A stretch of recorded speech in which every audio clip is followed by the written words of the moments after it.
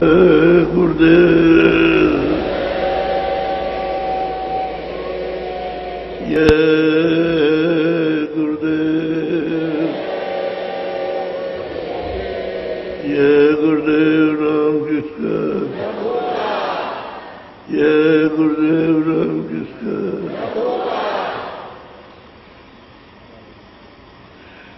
बैठ जाओ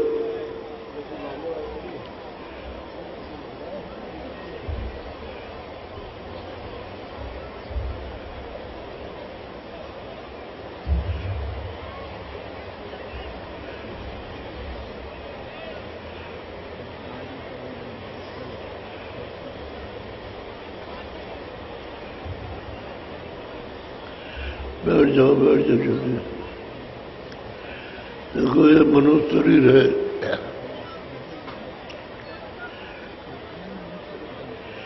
ये काल का स्थान है काल का देश है।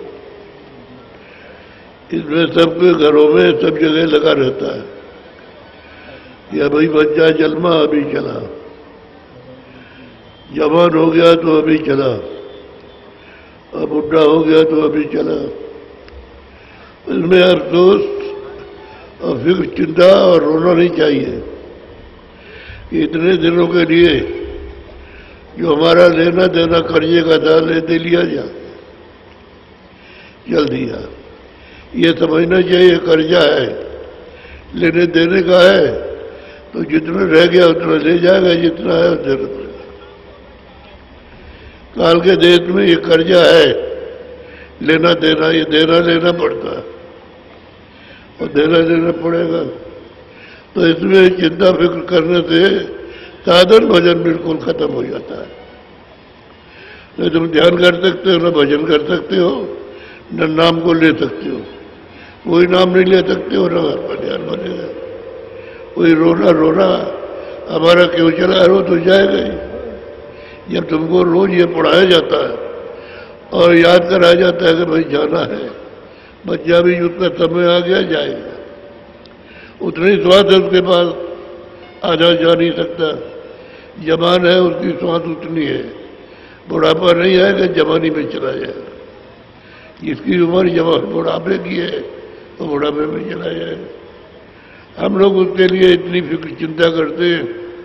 हम तो देखते हैं उसी के लिए रोते रहते हैं। चाहते हैं तो वही मतलब रो करके, यानी सदबुद्धि से हमने शुद्ध बुद्धि चाहिए। तो हमारे गाली तो याद नहीं करते विश्वास नहीं करते। वही रोने में लगे रहते हो।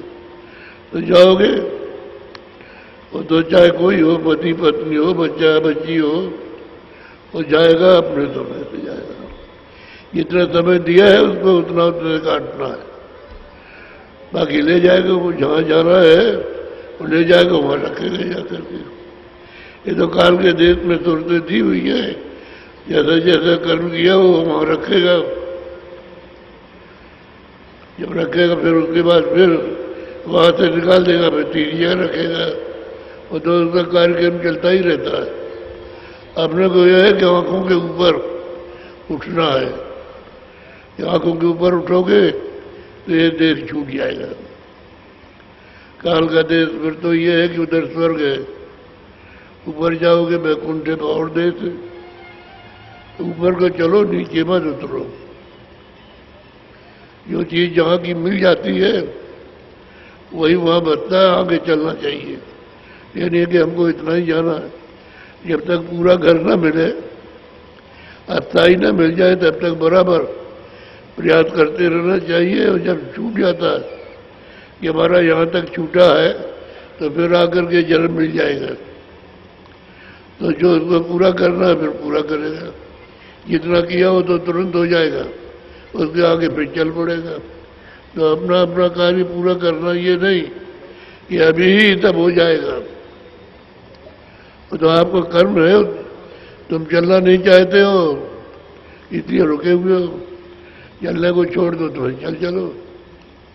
जो छोड़ता तो है नहीं। है पकड़े हुए हैं कि किसी तरीके हमारा जा रहा है जाने वाला है ही जाएगा क्योंकि शरीर तुम्हारा तो है नहीं।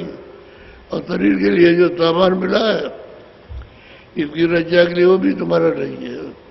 तो दूसरे का है, जो चीज़ दूसरे की वो अपनी ले लेगा तुरंत को निकाल देगा तो इसलिए अपने को पहले थे अफसोस चिंता फ़िक्र ये नहीं करना चाहिए जो होगा। भजन करना चाहिए ध्यान। इसमें तुरंत साफ़ हो जाएगी। उसके ऊपर जब मैल नहीं रहेगा तो फिर तकलीफ़ उठाने की क्या? जब तुम योग रूपी अग्नि को अंदर प्रकाश प्रकट करोगे, रोशनी लाइट आएगी, उसी में ये सब जल जाता है। ये बाहर का मैल नहीं रहता है सब साफ़ हो जाता है। ये तो कोई चीज़ है, उसमें डाल दिया था तो खत्म हो गई। ऐसा ही है। हर जगह अपनी अपनी चीज़ जल रही वहाँ पहुंचोगे, ये ये हो जाएगा पहुंचोगे। कपड़े को उतारना है। इसको भी तर के कपड़े को भी, बैकुंठ के कपड़े को भी। इतने देते आपको कपड़ा ये सब उतारना। और सूजम कपड़ा तय दल कमल में उतार देना है। तब जाकर के तुरंत इन सभी चार कर पर्दों से अलग हो जाती है। चलने में उसको बहुत सुलभता और आसानी होती है। तो आप तो वैसे तो आए हुए हो, बहुत से लोग हैं नामदान के लिए।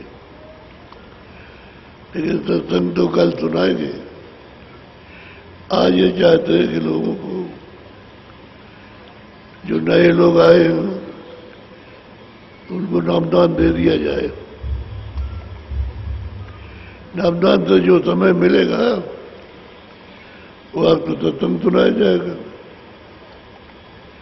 इसलिए ही ठीक है सत्संग कल सुनने को मिलेगा। आज इसलिए वक्त दे देना चाहिए। और जो लोग पुराने हैं अकेले एकांत में रहते हैं तो उनको भूल जाते हैं तो फिर से अपनी याद कर लो। एक दफे याद कर लो, भूलने का काम नहीं। अगर तुम ऐसा ही भूलते रहोगे तो आखिर में मदद कौन करेगा? क्योंकि तुम तो भूल गए। जब बराबर याद करते रहोगे तो मदद हो जाएगी। और याद नहीं करोगे तो फिर संसारी हो गए तो फिर क्या है? संसार में तो झेलना पड़ता है। कर्मों का फल झेलना है। फिर बहुत मुश्किल है आपको। तो पाप और पुण्य बस यही है दो कर्म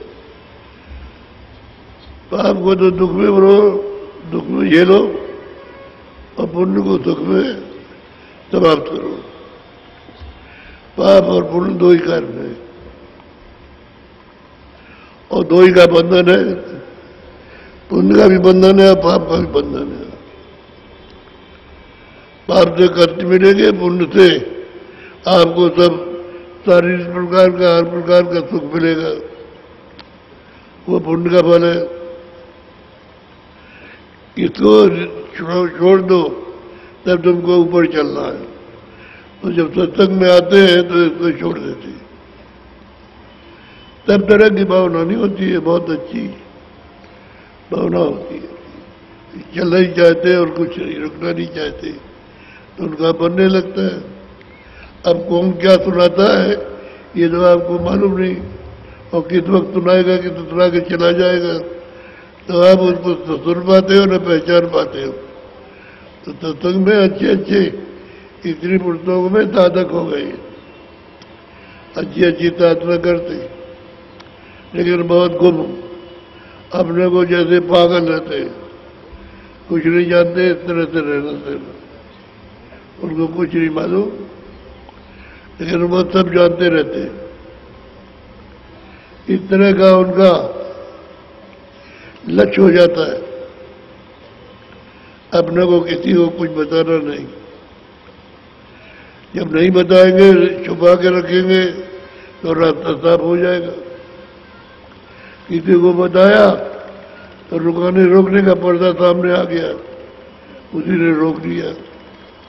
तो छुपा के रखते हैं धीरे से निकल जाते जब अपना काम पूरा हो जाए, तब फिर तो उनको अधिकार रहता है। इनको सर्वशक्ति मिल जाती है।